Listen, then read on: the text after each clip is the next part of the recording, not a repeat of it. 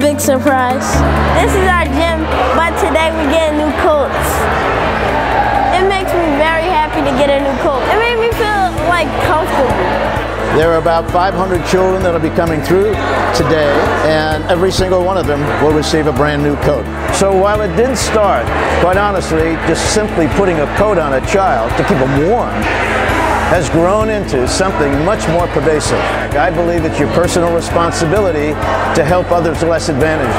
The children and the, teachers are overwhelmed with happiness and appreciation. Having an event like this at school shows the kids that we really care for them and love them, and I think that they feel that love.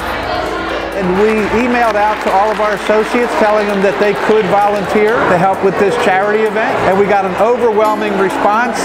And everybody's really looking forward to being here today. And I think they're having an awesome time. I love my new coat because it matches this and it's, it's cozy. This coat makes me feel warm because it's chilly outside know, it's my town and I have a house and I have a car and I have a job and you don't think about children who live down the street from you or even next door to you having no jacket. For me, it's being appreciative and having a humbling experience.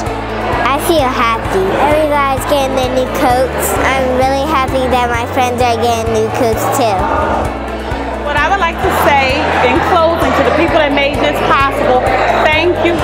bottom of my heart, from the Brady family, and that includes the students, the staff, the parents. We thank you, thank you. I'm not sure how Brady School got chosen. I received a phone call one day and I was like, yes. And all my children are happy and they have a coat.